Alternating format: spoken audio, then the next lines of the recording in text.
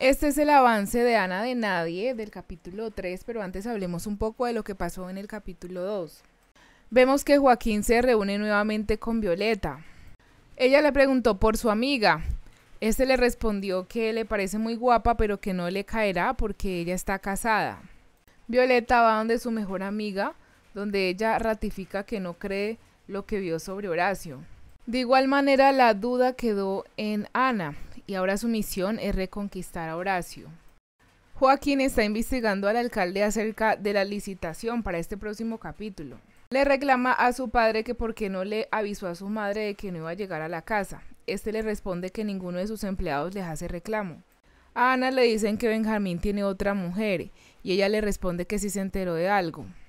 La hija de Benjamín le dice que lo vio anoche en la casa de la abuela y que se enteró de que es mentira lo del viaje de Manizales y que le demuestre que para él ellos son lo más importante. Ana se conocerá con Joaquín Cortés, pues esta estará midiéndose una ropa y en ese momento al parecer Joaquín la ve en prendas menores.